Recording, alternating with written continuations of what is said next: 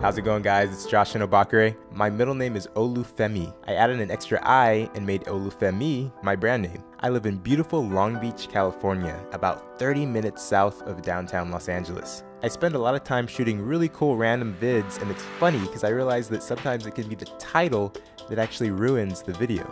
Sometimes the title can just look so flat and physically separated from the footage. Here's one of the many quick solutions I use to give my text an extra kick.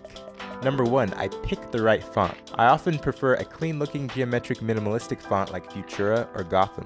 I usually stay away from overused old style fonts like Times New Roman. Number two, I add some noise. Most footage will have noise, so generally adding a tiny bit of noise to any graphic overlays will make them appear as if they're part of your footage and not just sitting on top of your footage. Number three, I create a slight gradient with a circle mask. Don't forget to add the feather. And that's it guys, thanks for watching, and as always, keep it chill. Add your name and place of residence to my latest Instagram post, and I promise to give your Instagram page a little peek. Thanks for watching.